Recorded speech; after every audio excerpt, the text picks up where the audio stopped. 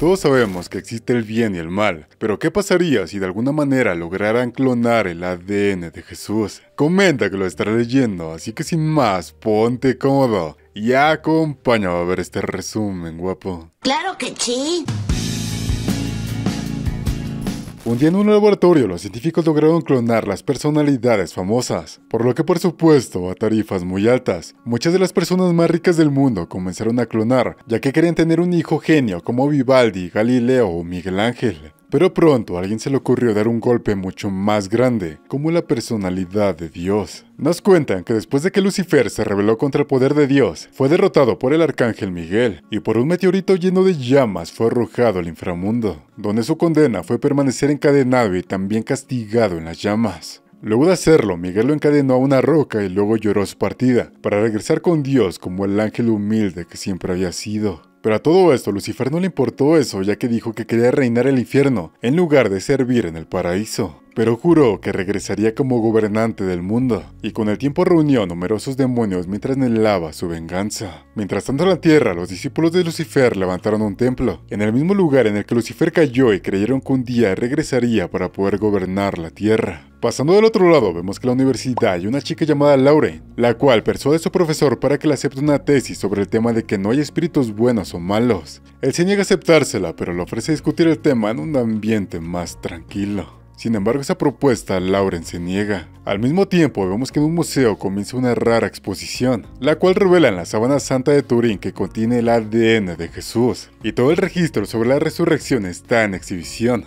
Una vez que se encuentra adentro, conoce a Marconi. Él explica que Cristo estaba envuelto en la sábana santa el día que murió, pero cuando resucitó su cuerpo brilló tanto que incluso dejó su propia marca en la sábana. Por lo tanto, la sábana es la viva imagen de Jesús. Luego de eso lo lleva con el ángel Gabriel, quien le dice que participó en la primera guerra contra Lucifer, el primer mal. Pero Laura cree ciertamente que la maldad no existe, simplemente es una personalidad cuando los problemas suceden, por lo que cree que es una tontería culpar a Belcebú. Marconi le dice que hay muchas profecías en las que Lucifer regresará, aunque ciertamente espera que nunca encuentre una salida. Luego de la charla, el padre se va a hacer sus cosas, mientras que Laura se pone cómoda para comenzar a dibujar todos los retratos que tiene ahí. Aunque algo extraño sucede ya que escucha su nombre pero no hay nadie alrededor. Pensando que es una casualidad, lo deja pasar y sigue trabajando hasta la noche. Del lado de afuera vemos que la galería ya estaba a punto de cerrar y solamente faltaba el último grupo. Todo iba normal hasta que en las cámaras de seguridad se podía ver un hombre con capucha que entra en una puerta lateral. Mientras tanto, vemos que Laura estaba dibujando el rostro de Lucifer, aunque este último pareciera moverse. De repente escucha el ruido de un cuervo por lo que se distrae, sin darse cuenta que en la parte de atrás alguien la estaba acechando. En ese momento vemos que el padre llega y le dice que ya es demasiado noche, podría continuar en la mañana. Ella toma sus cosas y parte de ahí, sin embargo en medio del camino, Nota que aquel hombre de capucha manda con San Pedro al guardia con una espada. Al ver tal acto decide esconderse y ella va directamente a la sábana de Cristo. Sin pensarlo, rompe el cristal causando ruido y llamando la atención del padre, quien este último comienza a reclamarlo pero también lo manda con San Pedro. Laura al ver esto se mueve descuidadamente y el villano la nota. Por ella solamente le ordena a sus subordinados que se vayan con la sábana rápidamente. Del lado del padre vemos que ya estaba casi con San Pedro pero le pide al ángel Gabriel que tome su cuerpo y se deshaga de los villanos antes de que se lleven la sábana. Y de repente un torbellino aparece de la nada y el padre recupera su vida. Inmediatamente corre para poder alcanzar a los villanos, pero estos se alejan. Del otro lado vemos que hay una conferencia donde el científico, el Dr. Lauren, explica que ha logrado replicar el ADN y de este modo pueden traer de vuelta la vida a los grandes científicos. Y como prueba presenta la reencarnación del gran Vivaldi. Sus padres, contentos por la réplica, se van de ahí. Luego de eso aparece la siguiente pareja, el cual será el nuevo Miguel Ángel. Sin embargo, mientras presentaban los científicos reencarnados, vemos que aquella mujer que robó la sábana se le aparece al doctor haciéndole señas. Al verla, el doctor inmediatamente se va a Cacal y la pareja viaja al castillo de Belcebú, donde el doctor ve la sábana por primera vez, mientras dice que por fin tendrá un hogar digno. Mientras tanto, vemos que Laura sí fue capturada y es arrastrada a una habitación donde hay varias chicas. Todas ellas se encuentran horrorizadas porque están encadenadas y no saben lo que está pasando. Regresando con el padre Marconi, vemos que regresa a la sala, donde los sacerdotes habían visto el video de cómo lo mandaron con San Pedro, y están sorprendidos que siga de frente con ellos con vida. Él culpa a los guardias por no poder proteger la sábana, por lo que inmediatamente se dirige con el auto para ver al cardenal. Del otro lado, vemos que los científicos logran aislar el ADN de los rastros de sangre de la sábana, y al mismo tiempo Marconi llega con el cardenal quien le explica todo lo que había sucedido. Inmediatamente lo lleva a un lugar para poder vigilar el castillo de Michael Lucifer y le revela que probablemente los secuaces tienen la intención de revivirlo, recordándole en la fase de la Biblia que dice que un día Lucifer será liberado de sus cadenas y se levantará del inframundo para poder gobernar la tierra, y según lo que está pasando, probablemente el día ya ha llegado. Según las escrituras, se trata que dos monstruos son los responsables de la liberación, una mujer y un monstruo subterráneo, los cuales darán como sacrificio para poder liberarlo. El cardenal le revela que todos los seguidores de Lucifer le han ofrecido vidas durante siglos para poder conseguir un recipiente.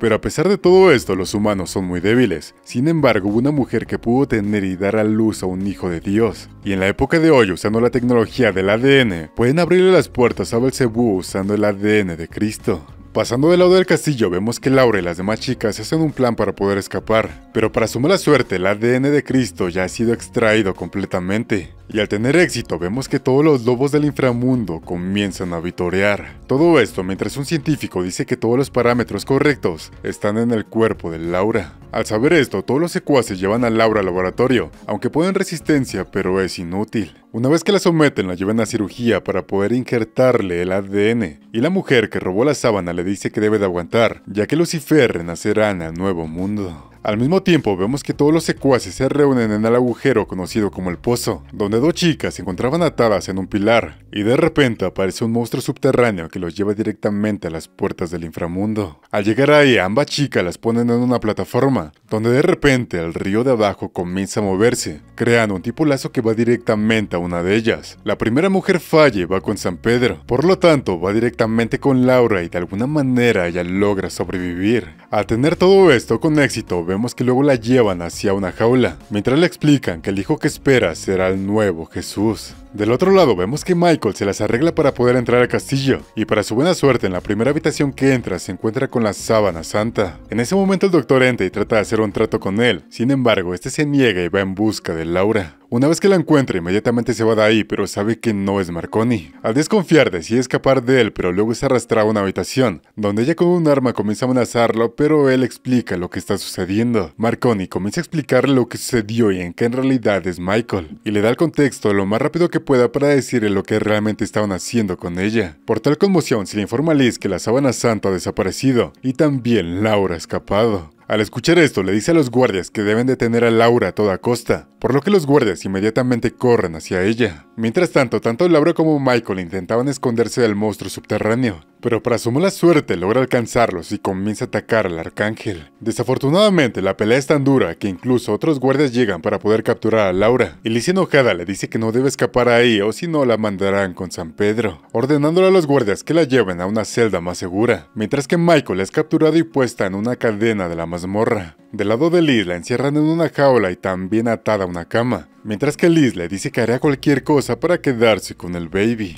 Regresando con Michael, vemos que usa todas sus fuerzas y logra romper las cadenas. Pero tal ruido llama la atención de los guardias y comienzan a perseguirlos, mientras que el monstruo se da cuenta de la sábana que se encontraba en la mazmorra. Michael sin opciones decide descender hasta el inframundo, donde rápidamente es atacado por todas las almas encarceladas, donde descubre que Lucifer ha sido liberado y que le falta la espada. De repente, el modio de la codicia, Mamón, vuela hacia él, anunciándole que Lucifer se irá por la puerta, mientras que Michael se quedará aquí en lugar de Lucifer, diciendo que el mayor error de su vida es bajar en un cuerpo mortal al inframundo, y ahora el arcángel estará encadenado para siempre. Del otro lado, vemos que los científicos comienzan a hacer una ecografía al hijo de Laura, pero este último claramente no se trata de un bebé normal. Pero luego de eso, ella se despierta aterrorizada y ve a Lee cerca. Ella comienza a contarle una historia de un valiente guerrero y un tirano, que eran iguales, pero el tirano quería ser el guerrero, queriéndolo mandar y convertirlo en su esclavo, pero él se negó, prometiendo que pronto se levantaría y se uniría a la lucha. Por lo tanto, Laura tiene que concebir al niño, pero también le advierte que habrá transformaciones en su cuerpo, ya que necesita cientos nutrientes para poder dar a luz al niño divino. Del lado de Michael en el inframundo vemos que las personas que fueron entregadas a Lucifer comienzan a decirle que necesitan que la salven.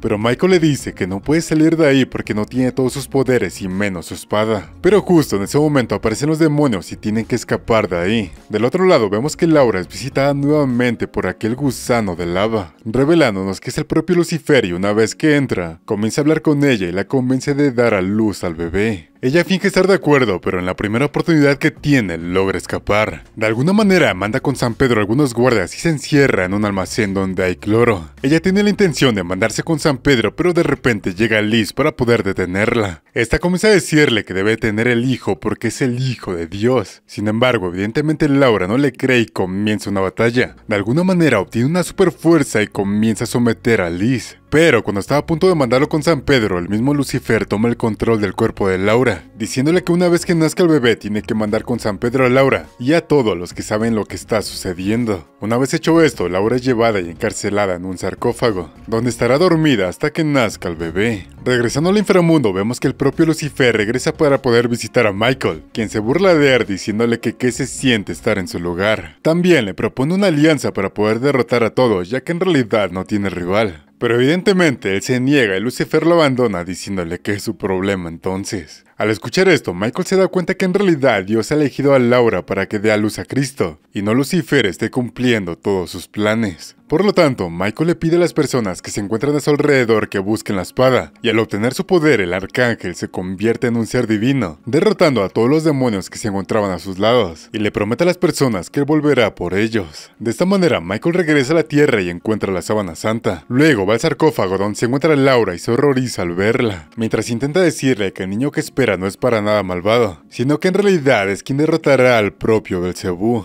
Dichas palabras provocan que Laura se despierte pero poseída, comenzando una pelea donde destruye todo a su alrededor y prácticamente destruye al propio Michael. Laura enfurecida arroja a Michael del otro lado, mientras que los seguidores se reúnen en el templo para ver el nacimiento de Cristo. Una vez que Laura da a luz, toman al bebé y Laura es arrojada al pozo. Al mismo tiempo, Liz saca al bebé y le pide a Lucifer que bautice al chico. Pero lo que no se esperaban los seguidores es que el monstruo del calabozo comienza a mover su cadena, comenzando a mandar con San Pedro a todos amigos. Al mismo tiempo, vemos que Michael logra encontrar a Laura, quien se agarró del borde del pozo. Y una vez que están bien, van directamente al patio donde Laura agarra al bebé que tenía Liz. Y Michael ordena a Laura que se vaya de ahí a buscar el cardenal. Mientras que él irá al pozo para poder cerrar la entrada al mismo Lucifer y no salgan los demonios. Inmediatamente Michael va a hacerlo, sin embargo el monstruo del pozo comienza a luchar nuevamente con él. Y al verse superado, Michael no tiene otra opción más que activar el modo árabe. Mientras que el cardenal ve como el castillo hace boom por todas partes. Al siguiente, tanto el cardenal como Laura regresan a la sábana santa. Y Michael, como lo había prometido, desciende al inframundo. Terminando la película donde pasan varios años, donde podemos ver que el chico se da la vuelta y muestra oscuridad dentro de su cuerpo. Estando todo preparado para una segunda entrega, así que espero te haya gustado muchísimo resumen. Nos vemos. Bye.